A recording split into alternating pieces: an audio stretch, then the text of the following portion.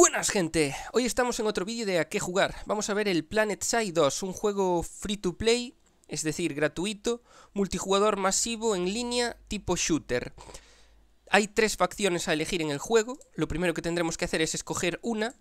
El juego se desarrolla en un planeta llamado Auraxis y las facciones es en lo que se divide la población de ese planeta y son las siguientes. La soberanía Banu serían los científicos del planeta que encontraron tecnología alienígena y ahora son fanáticos religiosos. La han utilizado para mejorarse a sí mismos y no queda muy claro si las pintas gays tirando a homosexuales les vienen de la tecnología alienígena o ya las tenían cuando eran científicos. Luego viene el nuevo conglomerado, un sector de la población que decidió rebelarse contra el que consideran un eh, corrupto gobierno, que es la República Terran, que veremos ahora. Son luchadores por la libertad, prefieren morir luchando a vivir esclavizados debajo del dominio Terran. Y por último tenemos a la República Terran. Es el ejército profesional de Auraxis. Como veis ya el, el propio uniforme y las armas parece que ya están mejor preparados, pero a, en la realidad podréis jugar perfectamente con cualquiera, con cualquiera de las facciones. Una vez escojamos eh, facción, le daremos a siguiente, nos aparecerán servidores recomendados, pero podemos dar a ver todos, para ver a todos los servidores. Seleccionamos servidor, en este caso Miller, obviamente que cada uno escoge el que más cerca de su casa le queda. Luego pondremos un nombre a nuestro personaje,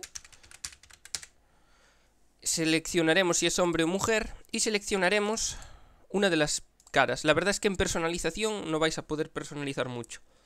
Le daremos a terminar y el juego entrará en un pequeño tutorial. Una vez nos creemos el personaje, apareceremos en un pequeño tutorial que nos irá explicando cosas eh, bastante útiles en el juego. Es breve, pero intenso.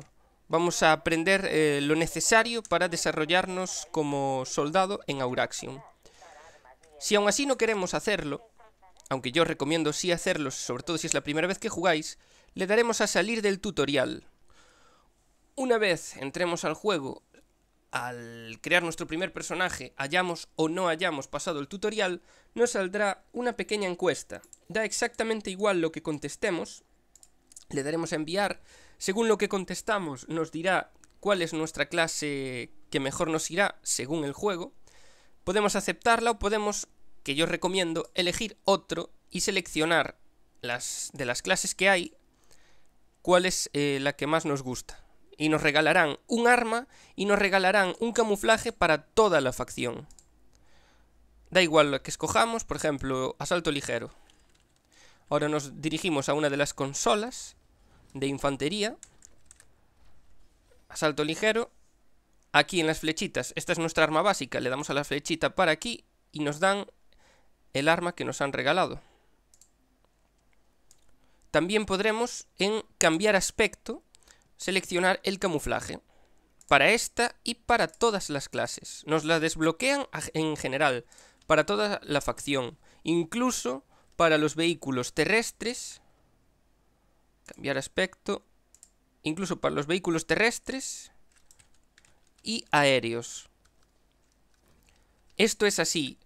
Con vuestros tres personajes. Vosotros podéis crearos tres personajes, con lo cual podéis crearos un personaje en cada facción.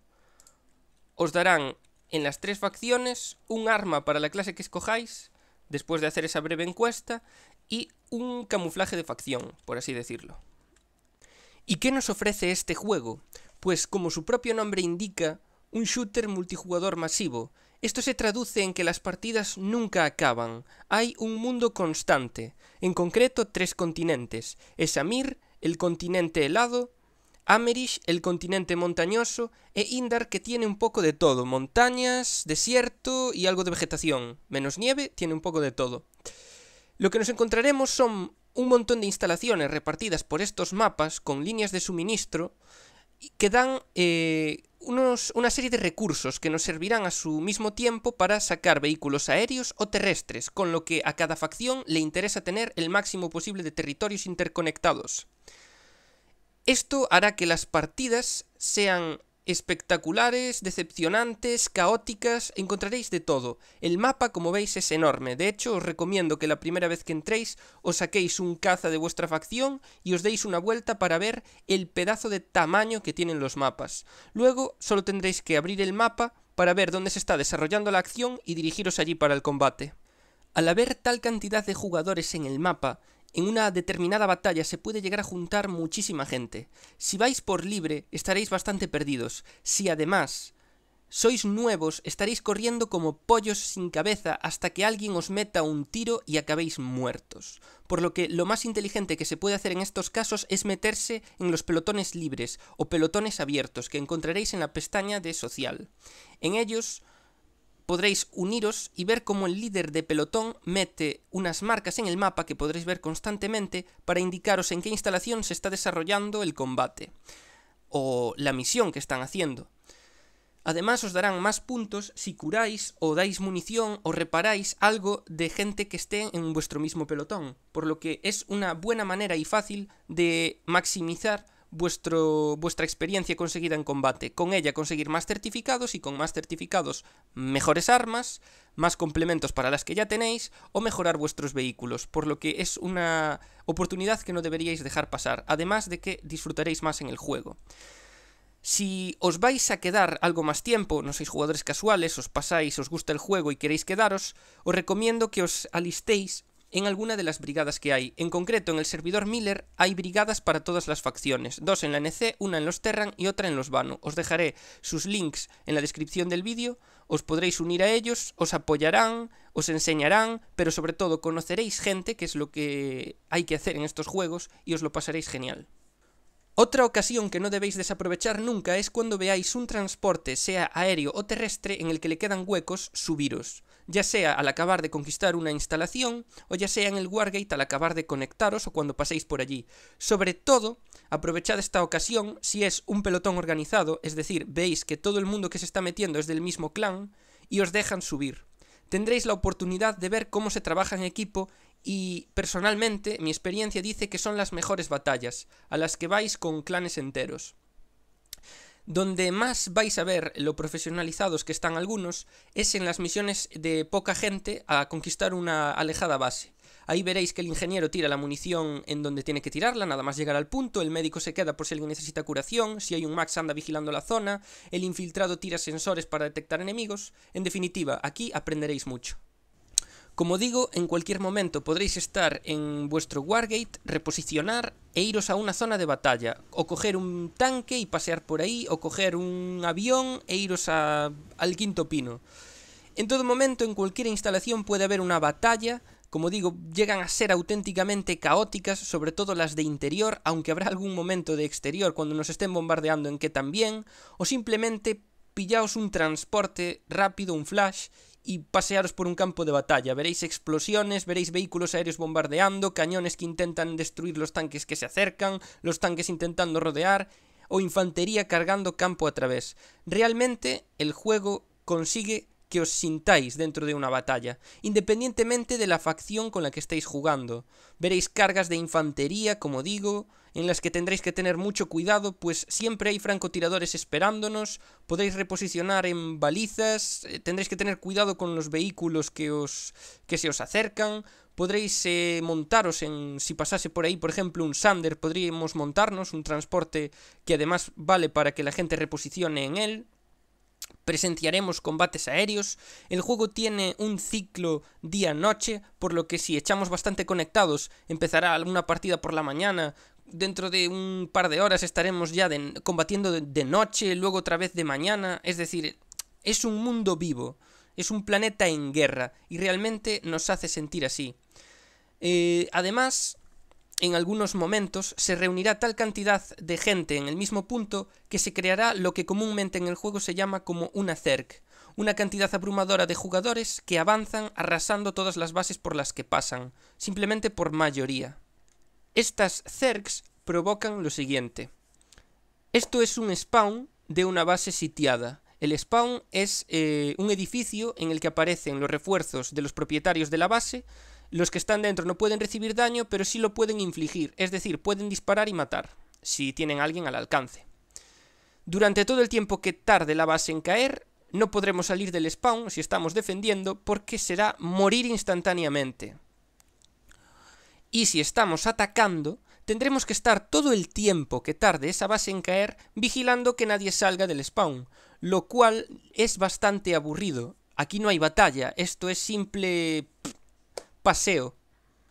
Aunque mucho ojito con jugaros la vida delante de un spawn, ya que por muy rodeado que parezca este, puede que dentro haya uno de esos raros jugadores veteranos que están acostumbrados a campear spawns, que han vivido lo peor de las cercs de este juego, que tienen juguetitos capaces de cazar mosquitas al vuelo o incluso posadas, y no os penséis que estos son jugadores novatos que llevan 5 minutos, sino que incluso un jugador que lleve ya algo de tiempo, o incluso un veterano nivel 100 acostumbrado ya a campear estos spawns, puede ser víctima de estos cacharros.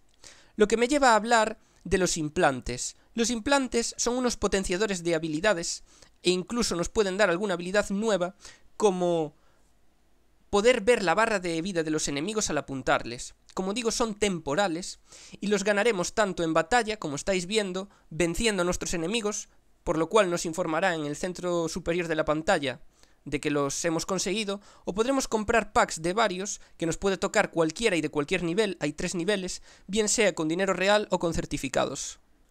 Para sacar los vehículos en este juego, dependemos del número de territorios que haya interconectados con el Wargate. A según cuántos haya, nos darán un número mayor o menor de recursos aéreos y terrestres.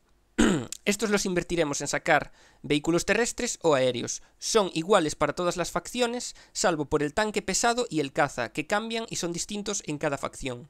Yo recomiendo que no desperdiciéis estos puntos. Siempre que tengáis puntos de algo, sacar vehículos terrestres o aéreos. Aunque los tengáis básicos, aunque seáis malos, aprovechad estos recursos.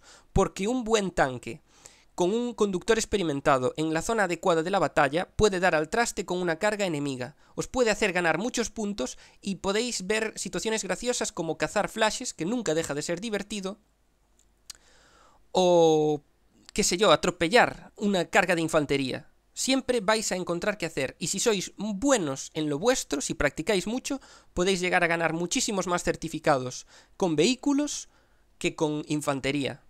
Así que cada uno que haga lo que quiera, pero yo recomiendo no desperdiciar estos recursos, sacad vehículos siempre que podáis e intentar ir con más gente, no vayáis vosotros solos, porque un solo soldado de infantería con un lanzacohetes puede mandaros vuestro tanque a la chatarrería.